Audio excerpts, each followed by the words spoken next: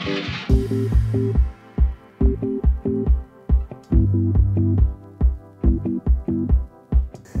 this is John Flat Six Motorsports, and welcome back to another episode of the Macan Turbo Build Series.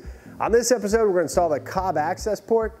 Now, the Cobb Access Port is one of the most popular modifications you can make to your Macan, and it's available for all trims.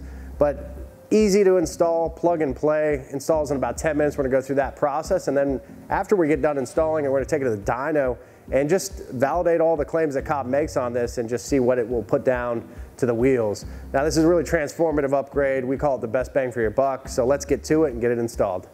All right, so the Cobb access port takes about 10 minutes to install. You might get some warning lights, the windshield wipers might move. This is all normal, fans will kick on. After it's all done, give yourself about 90 seconds before you start the car to make sure the Sport and Sport Plus modes come back. Now, what this is doing is rewriting tables on the ECU, uh, changing boost characteristics, fueling characteristics, timing adjustments, and all this uh, should add up for a good power gain.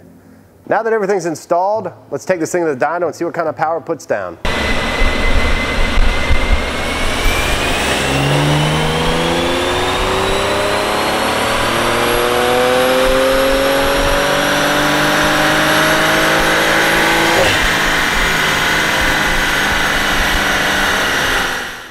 All right, so we just got back from the dyno, and as you can see, this adds a significant amount of power, about 49 wheel horsepower at the peak number, and a max of 68 wheel horsepower. Now, if you correct those for drivetrain loss, you're talking somewhere around 70 horsepower or so, 65, 70 horsepower. And in certain areas, you're adding about 100 horsepower at the crankshaft.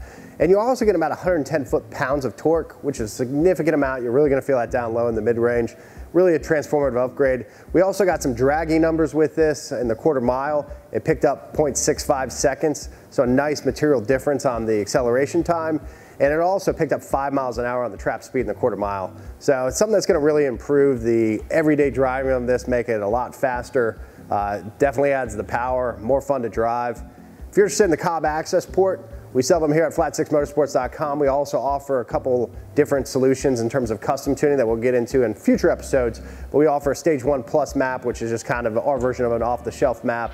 Adds about 15 more horsepower, and then we do full custom tuning under our Pro Tuning services. If you have any questions with your Macan or the setup, check us out at flat6motorsports.com. Make sure you subscribe. We're going to have more episodes rolling out pretty soon of this. Uh, we're going to be doing some intercoolers, diverter valves next, and just really excited to get this build going further. Thanks for watching.